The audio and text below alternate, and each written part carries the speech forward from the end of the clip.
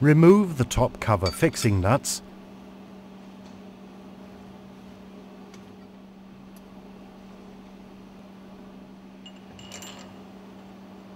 Loosen the top cover by means of the two dismantling screws from the tool panel.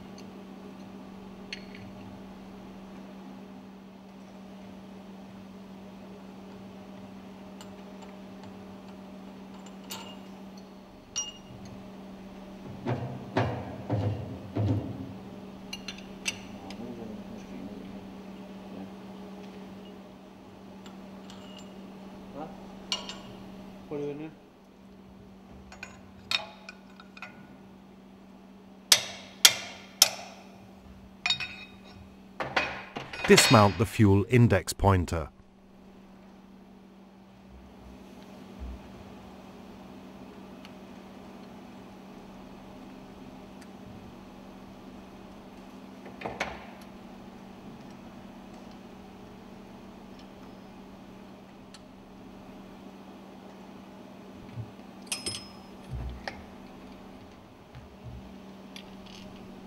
Mount the lifting tool on the fuel pump top cover. Screw the center screw of the tool into the plunger. Ensure that the stop ring on the center screw is loose.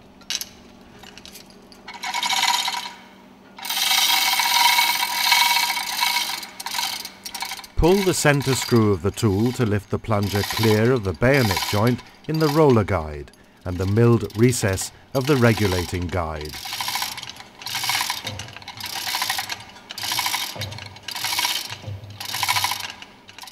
Lift the top cover and barrel with the plunger out of the fuel pump housing as one unit.